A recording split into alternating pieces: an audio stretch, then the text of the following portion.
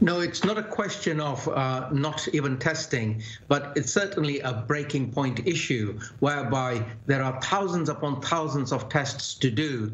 And on the other hand, the lateral flow device tests are pretty good. So what we have to do is rationalize and be measured in our approach.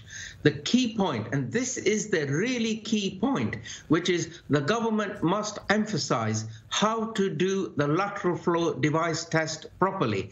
And if the lateral flow device test is done properly, by and large, we will pick up most cases that we wish to pick up.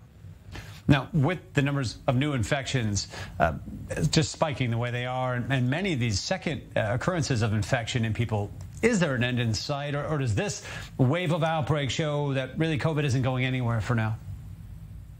Unfortunately, it's going nowhere. And the one way to make it subside and subdue and us to regain control is as an emergency, immunize and immunize all over the world simultaneously, starting from the higher risk groups going downwards. And if we do that, it is in our own self interest because what we will do is reduce the amount of circulating virus. And that way, we are safe, they are safe. That is the best way forward. Now, there's been some a bit of a discouragement, at least in Israel here. High percentages of vaccinated individuals now. Nonetheless, seeing an unprecedented record-setting wave of infections. Are, are, we in a bit of a reckoning moment or a, even a type of rebuke for the current vaccines that are out there? It is a bit of a rebuke, and the rebuke is that the, we've always known that the immunity from vaccines against coronavirus is not robust or long lasting. And therefore, the trick and it's not really a trick, but the sensible thing to have done would have been to subdue infections all over the globe simultaneously.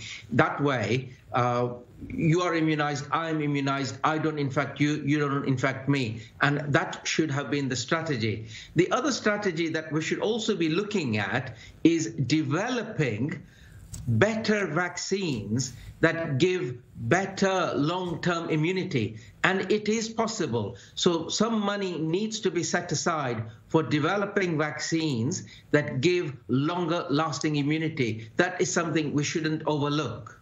Are you seeing those priorities in the right place among the health officials, developing better vaccines, developing more efficient testing regimens as well? Are they focused on the right things? They are within reason, but unfortunately, every one of the vaccine manufacturers went for the quick fix, which was uh, develop vaccines against the spike protein. Uh, another arm should really have also opened up, which is develop vaccines against other proteins on the coronavirus, which are much more stable and they don't keep on changing. Once we've mastered that one, I promise you we will be in a much better place. Well, as always, Dr. Bharat Pankhania, appreciate your expertise in our program.